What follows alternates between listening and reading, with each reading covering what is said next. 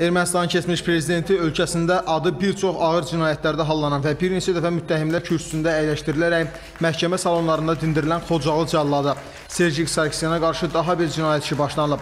Bu barədə Ermənistan Baş Prokurorluğu və xüsusi istintaq xidməti məlumat yayıb.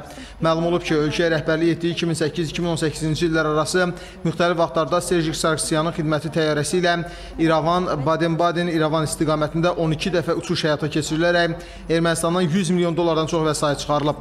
Nəticə etibarilə ölkə büdcəsinə küllü miqdarda ziyan vurulub. Qeyd olunub ki, hətta Ermənistanın ən ağır günlərində 2016-cı ilin aprel döyüşləri ərəfəsində də Baden-Baden istiqamətində aviareyslər həyata keçirilib.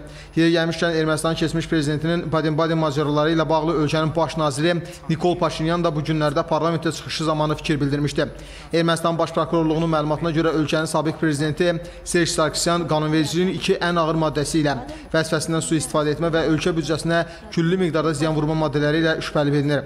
İstintaq materialları artıq Ermənistanın xüsusi istintaq xidmətinə göndərilib. Serjkin başı fermerlərindən də qalmaqaldadır.